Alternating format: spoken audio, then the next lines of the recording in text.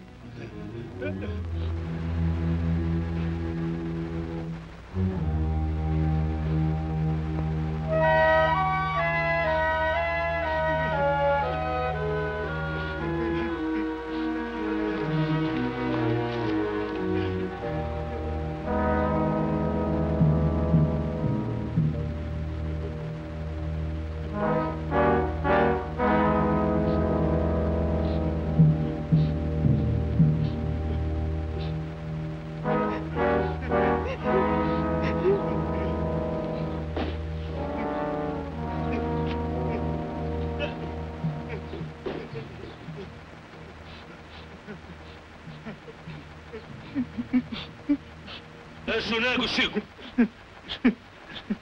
Eu só deixo depois de cuidar dele. Isto não é da sua conta. Vai cuidar do seu serviço. Não podemos deixar ele aqui, ele já sofreu bastante. Saia daí, ferro. Você, Chico, leve o homem para a senzala. Deixe o seu pai saber disso, seu Osório. Eu me responsabilizo.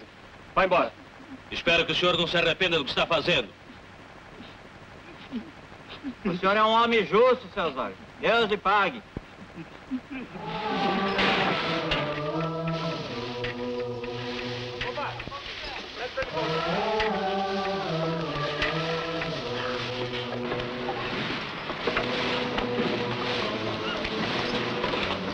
Tudo certo? Tudo certo. Então vou à cidade providenciar o que o senhor mandou.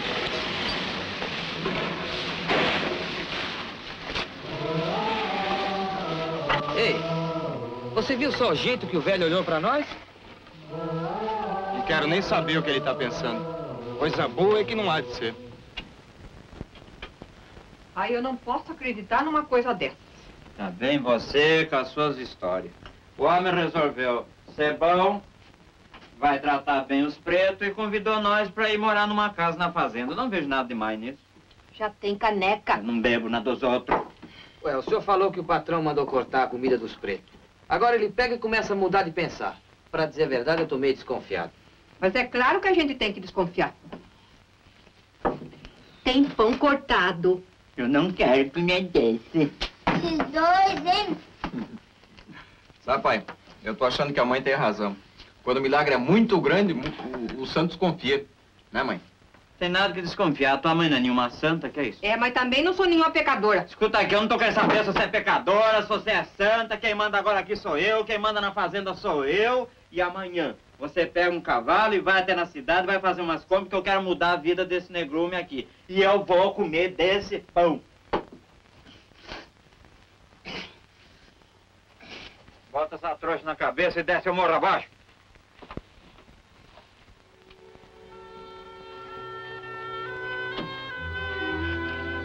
Põe o baú na cabeça, meu filho. Isso é muito pesado, pai. Aí eu falei pra você trazer a carroça, né? Trazer a carroça. E os burros? Burro é que não farta aqui em casa.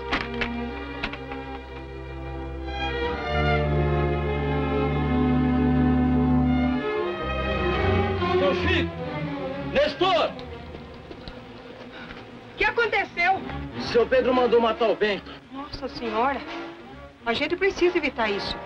Eu vou falar com o Chico. Ora, mãe. Você não vem com a gente, Nestor? Eu não vou perder tempo com isso. Que amigo é você? Sou muito mais amigo do Bento que vocês. Mas conheço seu Pedro. E não tô acreditando nessa história, não. Você não vai com nós, meu filho? Eu não. Perder tempo com isso. É medroso que nem o avô. Vai avisar seus amigos que eu espero na estrada.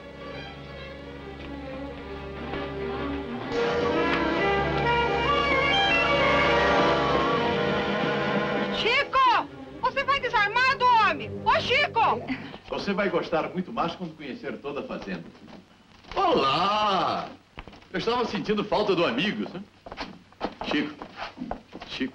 O senhor estava falando comigo, seu Pedro? Claro, eu podia falar com quem? Não é porque o senhor quase nem olha na cara da gente, eu estranhei, né? Como não olho? Eu olho sempre para sua cara, Chico. Chico, essa é minha irmã Rosa. Chico, que é isso? É, Chico, essa aqui é a minha sobrinha Inês. Chega mais pra lá. Chico, que é Hum. isso, Chico? Chico, que é isso, Chico? Escuta, vamos parar com esse Chico, Chico, que não tem nenhum porco também. Chico! E é, e é teimoso. Chico. Você Hã? também é quebra a cara aqui, joga você pra janela pra fora, hein? Chico! Bom. Por- Chico, Hum. ah, Inês, esse é o Nestor. Baixa aí. Baixa aí pra moça. Mostra que você sabe lidar com sangue azul. O senhor é daqui? Não, senhora. Eu sou daqui, ó. Daqui, não, que, é- que é isso, Chico? O Chico é um dos homens mais ricos da região, não é, Chico? Nós somos ricos, não somos? Ah, é. Semos ricos sim, com o dinheiro que ele paga dá pra juntar dinheiro. Que é isso? Ô, ô, Chico, então nós não somos ricos? Chico? Ah, é. Mas é, seu Pedro, que nós... Eu sei que a senhora vai dizer, nós somos muito ricos, eu sei disso. Cê- Ele tá brincando com nós, pai. Eu tô vendo, meu filho, pois nós somos ricos. Ah, diz pra moça aí o que é que nós temos. Diz pra ela. E nós temos, dona. O que é que nós Ela temos? nem sabe o que nós temos. Diga. Nós temos... Quantos arquivos? Ah, o Ah, 18 mil. perdeu a conta já. Ah, 18 mil. Tem pasto que não acaba mais. Tem Sim. vaca pra, pra dar e vender. Eucalipto, é. Tem cobra que não acaba mais também. Chico, O que farta Chico. aqui é, é vergonha, né, meu filho? Chico, é. Ah, dinheiro. Resolve tudo. Vocês devem estar cansadas. Eu vou acompanhá-las até os seus aposentos.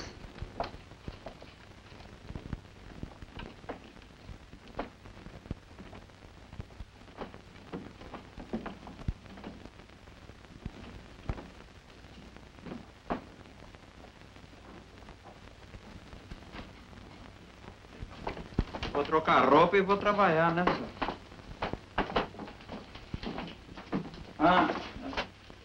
Por que foi que o senhor falou para aquela mulher que eu sou rico? Todo mundo por aí sabe que eu não tenho nada.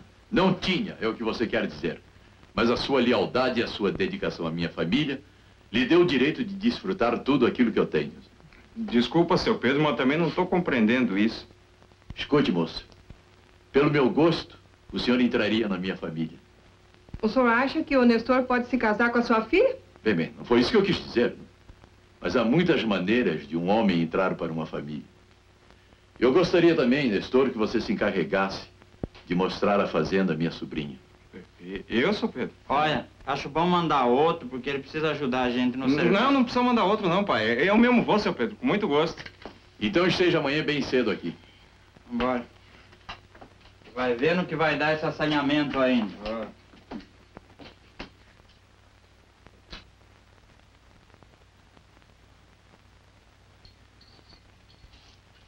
Mais justo o Nestor o seu Pedro foi escolher. Antes ele nunca olhou pra cara da gente. Vai ver que aí tem coisa. Tem coisa nenhuma, mulher. Tem coisa nada. O seu Pedro não correu pra cara de ninguém, né? Vamos dormir, filho? Estão sempre reclamando. Quando vai mal, tá certo. Mas quando vai bem, também reclama. Não quero saber. Amanhã, quando ele for buscar moço, você vai vigiar, hein?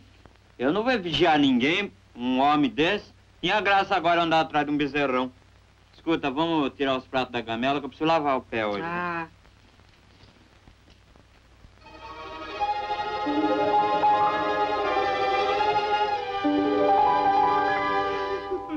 Brigando outra vez? a mãe daquela mocinha pensa que pode andar atrás do marido das outras. Vamos parar com isso, mulher. Chega, mulher. Aí, tá escorrendo tudo.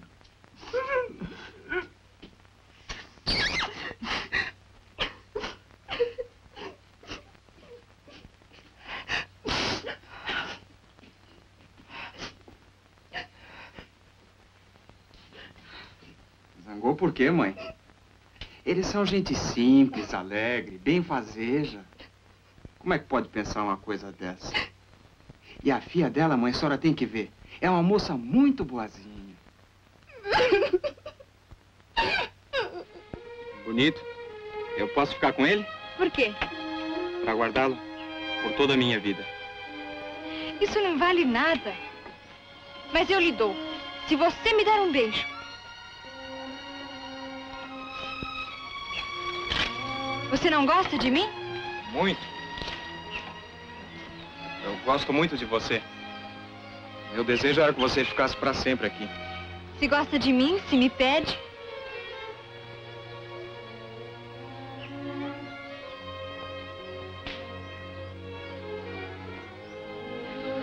Ah, assim não vale. É melhor eu levar você para casa. Eu tenho que trabalhar. Não é preciso, eu vou só. Enquanto a corrente, eu vou pensar. Até logo. Se quiser. Até logo.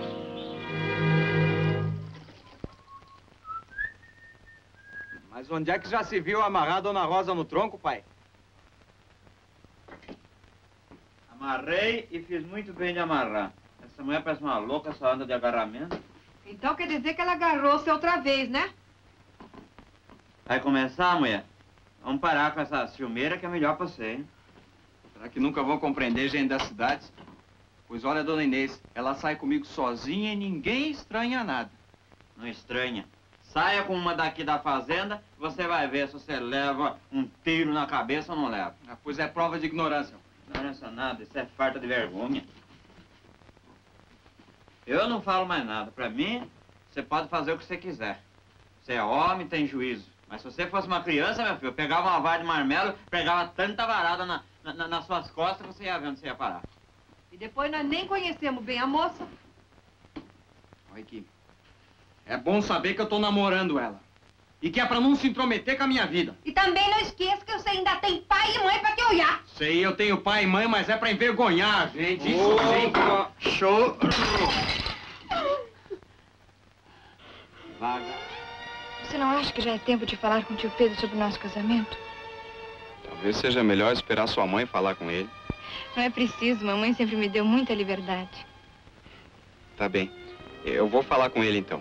Você fica avisada. Se ele disser não, eu desapareço da fazenda. Eu sei que ele não vai dizer não.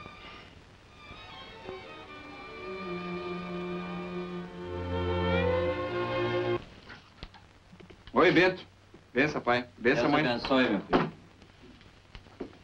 Quero que você se apronte pra vir comigo até na Casa Grande. Eu vou falar com o seu Pedro. Ele quer que eu case com a dona Inês. É. Seu Pedro agora é seu patrão, é seu pai, é tudo. Nós aqui não somos mais nada. Já tá decidido, pai. Mas o que que é? Que cara é essa, mãe? Vocês deviam estar contentes, né? Meu filho, seu pai tem razão. Essas coisas a gente não pode ter muita pressa.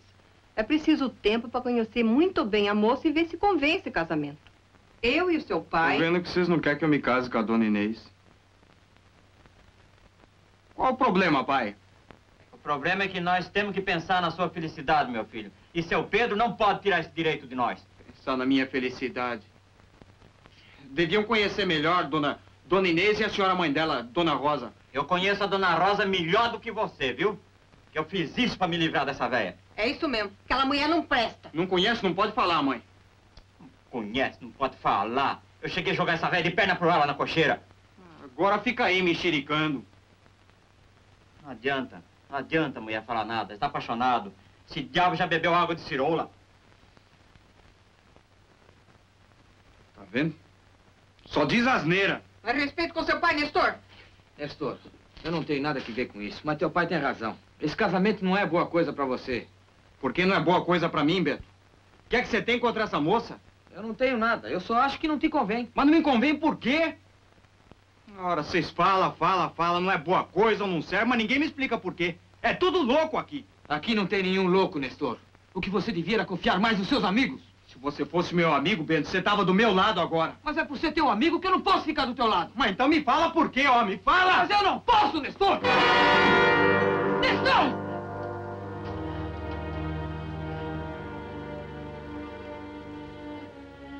Quer saber de uma coisa? Não preciso de amigo.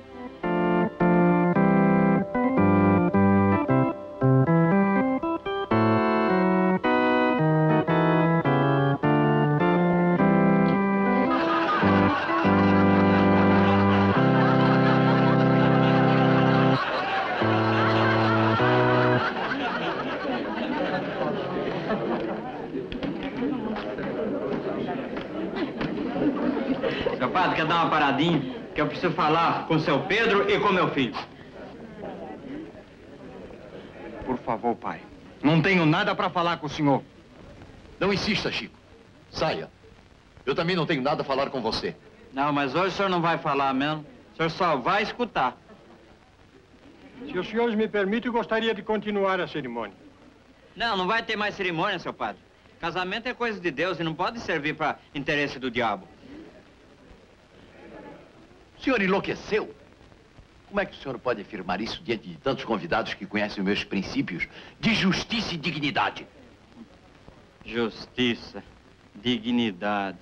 E ao senhor, hein, seu Pedro, que tem coragem de falar nisso. A única justiça que o senhor conhece é a do tronco e da chibata. E a sua dignidade, fique sabendo que está manchada pelo sangue que escorre das carnes dos infelizes, cortado pelo chicote dos seus capangas. Está manchado pelo suor dos seus empregados que trabalha de sora só para encher os paió da fazenda para receber o quê, seu Pedro? Só pancada e maltrato. Cale-se ou eu mando cortá-lo a chicote. Tá vendo? O senhor só conhece a lei do couro. Nestor, escute seu pai pelo menos essa vez. Vamos embora para casa. Nós não temos nada para te dar. Só muito carinho, meu filho.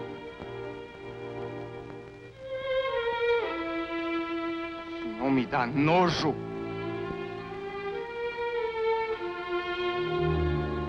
Não faz mal, meu filho.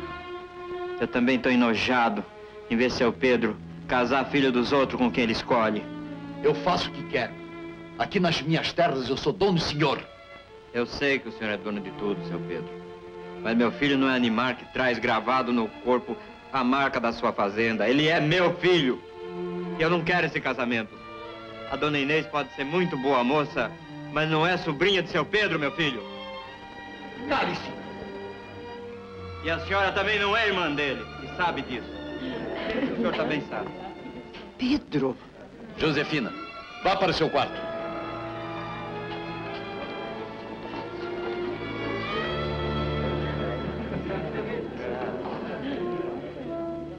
Vamos para casa, Nestor. Nós só queremos salvar você. O Bento sabe de tudo, ele vai te falar. Tem um segredo entre essas duas mulheres e esse homem. Depois nós conversamos, Chico. Com muita vergonha do que o senhor fez.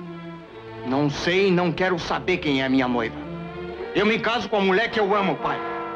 Tá bem, meu filho. Desgraçando a sua vida, tá matando seu pai e a sua mãe. Mas não tem importância. Não esqueça que as nossas vidas também te pertencem. Deus te abençoe. Podemos continuar.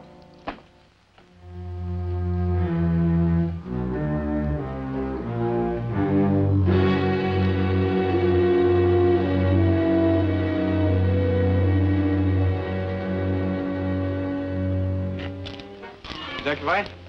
Vou até a Casa Grande, por quê? Eu preciso pedir licença?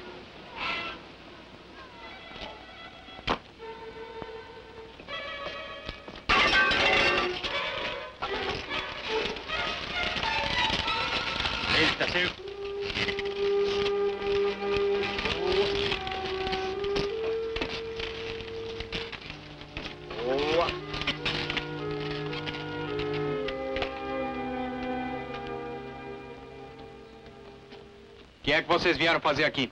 Nós vamos embora da fazenda e viemos despedir do você, Nestor. Despedir? Ainda tem coragem de vir despedir depois de tudo que fez? Tudo o que eu fiz foi pensando na sua felicidade, meu filho. Um dia você vai compreender isso. Compreender. Compreender o quê? O melhor que vocês fazem é ir embora. Ir não me aborrecer mais. Nós viemos porque nós não queríamos ir embora sem ficar de bem. Se você não gosta de seu pai, respeite ao menos sua mãe, né, Nestor? Por que você faz isso? Nós gosta tanto de você. Chega, mãe! O que é que vocês querem? Dinheiro? Dinheiro? Eu nunca te pedi nada, Nestor. Pai, vamos embora, você não precisa dele. O senhor tem eu.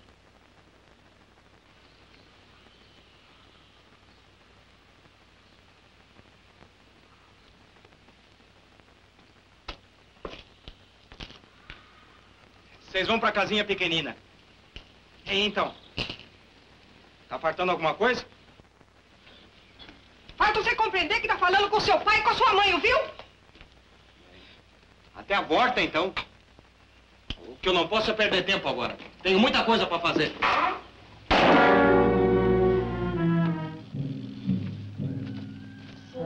Virgem Maria, o que aconteceu? Deve saber muito bem o que aconteceu.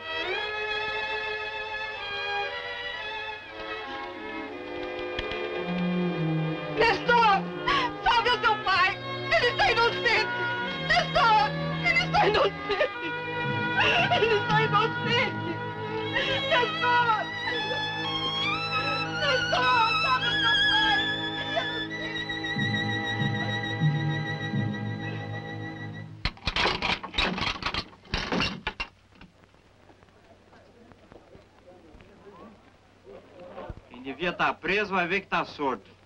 O que, que eu fiz? Nem sei porque que eu vim parar aqui.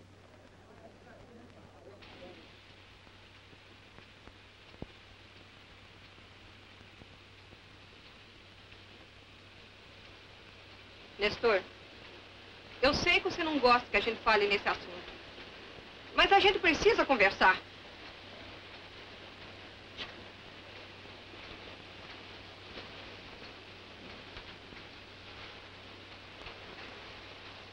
Eu estava junto. A arma estava na carroça quando nós ouvimos o tiro. Nessa hora, seu pai pediu a arma comigo. No mesmo lugar em que você chegou. Porque então quer dizer que estava agarrado no pai? Porque ele veio correndo daquele mesmo lado onde você foi procurar o corpo. Agarrou seu pai e já chamou ele de assassino. Ora, mãe! Mas era o pai que não gostava dela. Como você se engana, meu filho.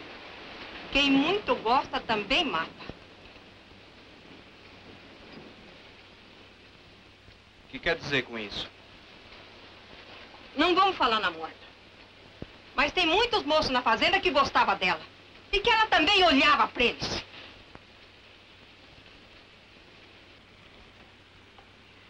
Vai falar com Ezequiel, meu filho. Falar o quê, mãe? Se ele pegou o pai com a arma quente ainda na mão. Nestor, você precisa acreditar na sua mãe. Enquanto seu pai está na cadeia sofrendo, o verdadeiro culpado está feliz e sorto por aí.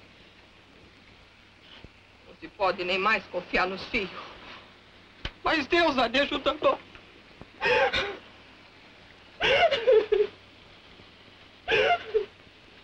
Você vai se arrepender, Nestor. Arrepender de quê? De deixar de acreditar no seu pai para acreditar no assassino comum. Como quem? Como Ezequiel, que pra mim é o assassino, viu? Ezequiel!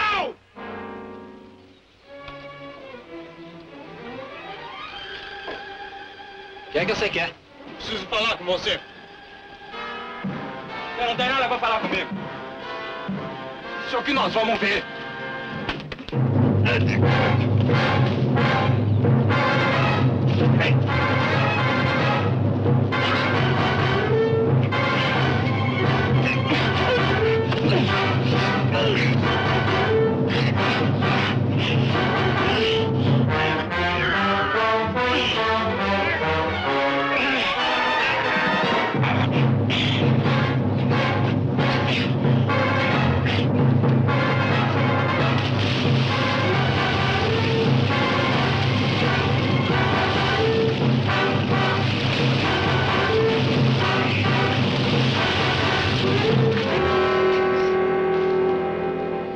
Você encontrou isso?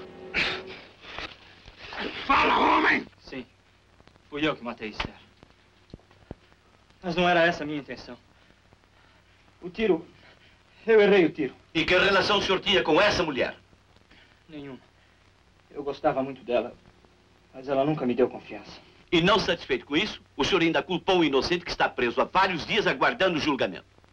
E ao senhor cabe culpa também ao acreditar que seu pai fosse capaz de fazer tanto mal ao seu próprio filho. Tem razão. Mas infelizmente eu descobri isso um pouco tarde demais. Para um pai nunca é tarde. Ele sabe sempre perdoar. Se o senhor dá licença, eu, eu vou embora. Eu não quero encontrar meu pai aqui. Como queira. Se precisar, mandarei chamá-lo.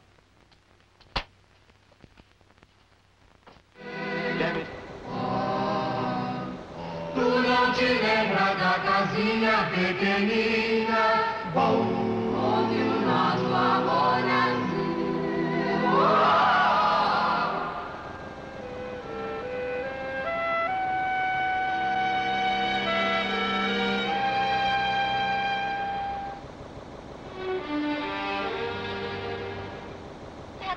Vai lá. Comigo não tem brincadeira, não. Aqui tem homem.